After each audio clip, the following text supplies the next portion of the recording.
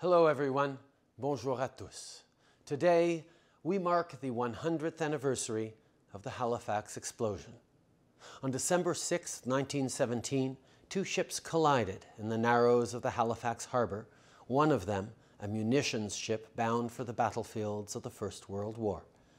The explosion that followed leveled the north end of Halifax and changed the city forever. It was the largest human made explosion before the atomic bomb and remains one of the deadliest disasters in Canadian history.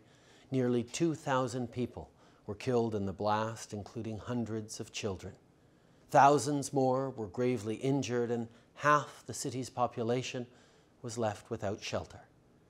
The tragedy devastated Halifax, but Nova Scotians responded with courage and heroism, like Vincent Coleman, the railway dispatcher who gave his life to warn incoming trains of the danger. Communities across the province also offered relief and support, and help poured in beyond our borders from Massachusetts to Australia. Halifax s'est vu dévasté, mais son esprit est resté fort.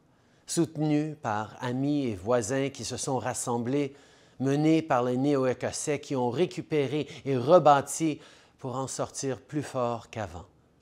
Cent ans plus tard, leur courage et leur compassion persistent encore dans la ville d'Halifax. Aujourd'hui, nous rendons hommage à ces gens en gardant leurs souvenirs près de nos cœurs.